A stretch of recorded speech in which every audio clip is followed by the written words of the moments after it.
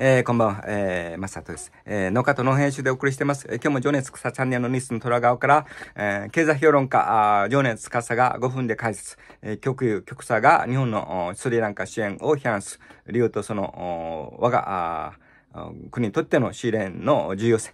はい、えー、このスリランカですね。元、セイロンと言ってるんですけどね、コロンボが有名ですね。えー、いろいろ、えー、スリランカ、日本にとって、えー、このな、馴染み深いですね。えー、大学の先生もスリランカに行ったと言って、もう40年前ですね。今、最近私の知り合いにも、スリランカ人がいますね。本当に、えー、馴染み深いスリランカですけど、えー、中国が本当に、えー本当に、えー、中国が手を出しましたですね。それに、えー、代わって、日本も頑張って、えー、スリランカを取り戻す。昔の馴染み深い、え、スリランカ、セイロン、またコロンボですね。いろいろ、うん、この、え、国内政治もありましたけど、えー、スリランカをしっかり日本も応援していきたいと思います。えー、需要ですね。マラッカ海斗、また、この、この、マラッカ海峡、またその、インド洋ですね。えー、またこの台湾海峡、台湾の有事と同じように、日本のこの安全保障、海外からほとんど石油、この資源を、えー、輸入して輸出する、作る製造業ですね。日本の根本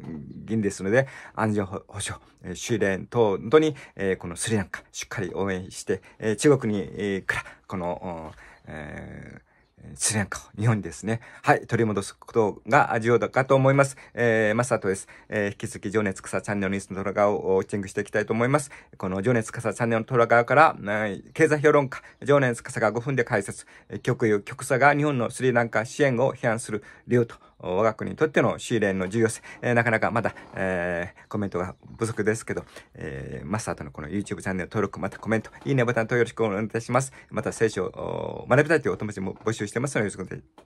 よろしくお願いします。次回の1分間の時でお会いいたしましょう。マスターとした主言です。パシャムル、シャロム、シャロム、シャロム。